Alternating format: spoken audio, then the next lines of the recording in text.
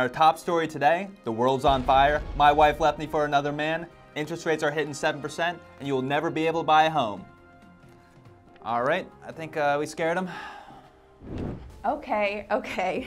The world is not on fire. Yes, interest rates may be around 7%, but that is still below the national average over the past 50 years.